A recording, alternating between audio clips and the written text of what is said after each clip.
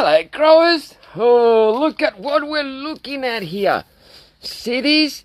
This is sunburn. See all of this here? Sunburn. She was a little variegated. She still has a new growth. And she is in the shade. However, at different times of the day, it does get some sun. So now I want to show you something. See how it's getting sun through the shade?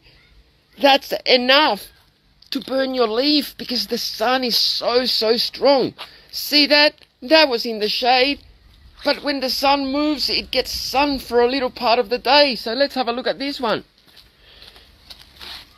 It's doing a little bit better because the leaves, can you see how they're facing away from the sun? It's got a new growth. And it's looking variegated.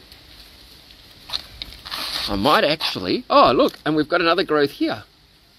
So what I can do here is just chop that there straight away and use this to show you what I would do.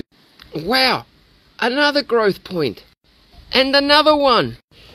And another one. So that's what I'm going to do. We're going to take this one.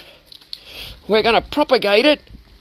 And another reel I'm going to show you how. Make sure you're following and like this so you get it. Catch you soon.